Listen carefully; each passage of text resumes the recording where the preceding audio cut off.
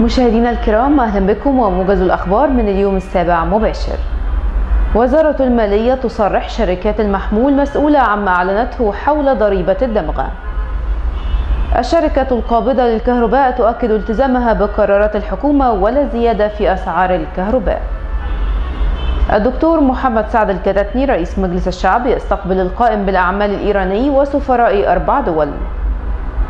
المبادرة المصرية تطالب البرلمان بإلغاء مرسوم عسكري يجيز التصالح في جرائم المال العام.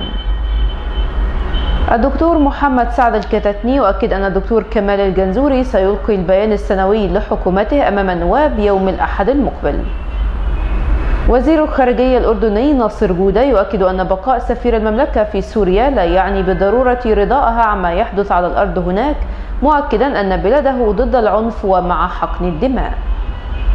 عمال مصنع ستار للملابس الجاهزة بالمنطقة الصناعية يعلقون إضرابهم عن العمل. موسكو تدعم دعوة الصليب الأحمر إلى هدنة يومية لساعتين في سوريا. وزارة الخارجية تؤكد أن مصر لا تحتاج مساعدة خارجية لكتابة الدستور. رسميا وزارة الصحة تدرج الترامادول إلى أدوية الجدول الأول للمواد المخدرة. رفض استئناف الناشط أحمد دومة على حكم حبسه في أحداث مجلس الوزراء. وأخيرا انتظام العمل بمعهد القلب بعد قيام قوات الشرطة بتأمينه.